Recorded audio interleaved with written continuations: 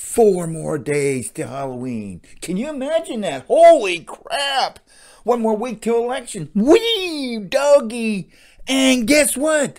Some theaters are selling their giant screens, their large projectors, and even their seats. Oh, oh man, I don't want to see that. You know why? Because that means more people are going to review Prime videos. What the pickles? Well, luckily I found this one for free. I have an app. I've my daughter gave me this app and I get all these free movies. Uh, no, they nobody send it to me and I have to kiss their ass.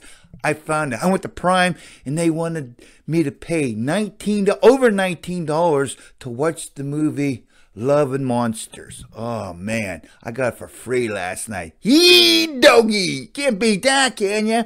The only problem with that is there's going to be a lot of people giving out the reviews, but Salavi. Okay, to the review of Love and Monsters. This is short and simple. If you don't like this film, you don't have a fucking soul. You don't. This movie is perfect for the COVID crisis you so you can escape from all the crap that's going on, all what you all the crap you hear on TV. This is a good movie to watch. In fact, you know what?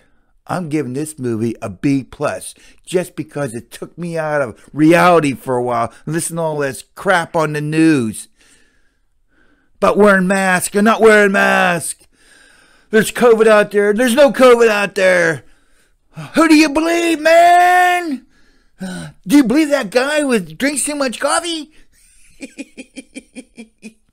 this is this is a very good movie. Love and Monsters. I got it for free. I didn't pay that nineteen dollars. I wasn't sent movie. I got it for free. hey, ooh, happy Halloween.